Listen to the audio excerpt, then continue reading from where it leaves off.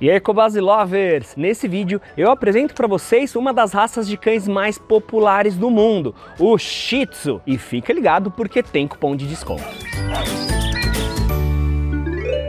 Eu tenho certeza que todo mundo já viu um desses cães por aí. O Shih Tzu é um dos cães mais populares nos lares brasileiros. Mas como é ter um cão Shih Tzu em casa? Os cães dessa raça são carinhosos, alegres e apegados à família. Seu pelo longo é um charme e é meio que um padrão da raça. Esse pelo tá sempre bem penteado e com um lacinho para fazer aquele acabamento no penteado. E mais do que deixá-los muito fofos, o lacinho na cabeça ajuda a manter o pelo preso, evitando que a franja franja do Shih Tzu caia aí sobre os olhos ou fique na frente da boca, atrapalhando a alimentação ou a hidratação e também evita que esse pelo fique sujo. Existe uma variedade enorme de cores para o Shih Tzu. Preto, branco, cinza, bege, marrom e também são permitidas as combinações dessas cores. Para que o pelo dos cães Shih Tzu fique sempre assim exuberante, bonito, brilhante, é essencial banho semanal com shampoo, condicionador e o finalizador. Um profissional da área, um esteticista, ele vai fazer esse trabalho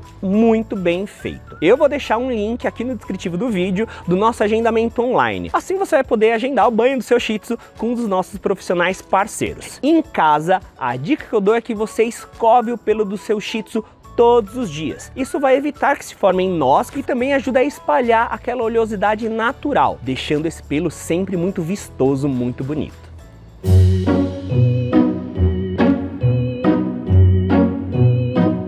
Apesar de muito populares aqui no Brasil, a raça Shih Tzu surgiu no Tibete e se popularizou na China. A partir da Revolução Chinesa, no início do século 20, essa raça foi levada pelos europeus para outras partes do mundo e aí dominou os lares do mundo inteiro. Uma das características dessa raça é que eles são cães braquicefálicos. Isso significa que eles têm o focinho um pouquinho mais curto, quase como se o rosto deles fosse achatado. Essa característica pode causar algumas dificuldades na respiração e também na alimentação. A braquicefalia pode causar uma outra característica, que é o prognatismo. É quando a mandíbula desse cão é avançada, fica na frente da arcada dentária superior. E é justamente isso que vai causar a dificuldade na hora de pegar o alimento. É por isso que existem algumas rações específicas para a raça Shih Tzu. Elas têm um formato um pouquinho diferenciado. É para facilitar que o cão consiga abocanhar essa ração. Se muito bem cuidados, com uma alimentação adequada, visitas ao veterinário, os cães da raça Shih Tzu chegam facilmente aos 14, 15 anos. A altura deles vai girar em torno ali dos 25, 30 centímetros,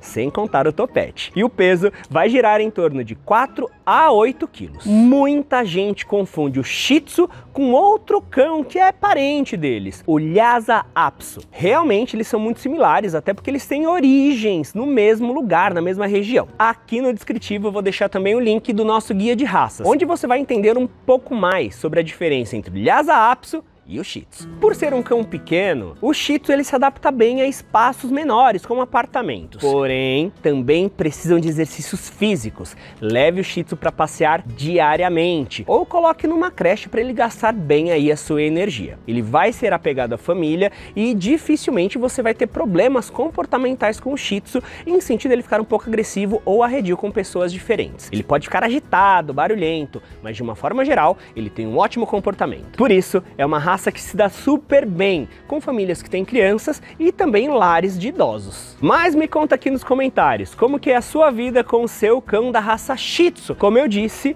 leve o seu cão para passear, aproveite uma das lojas da Cobase e conheça também nosso site aplicativo. Não se esqueça de clicar no sininho para receber as notificações aqui do nosso canal e deixar o seu like aqui no nosso vídeo. Cobase, essencial para a vida.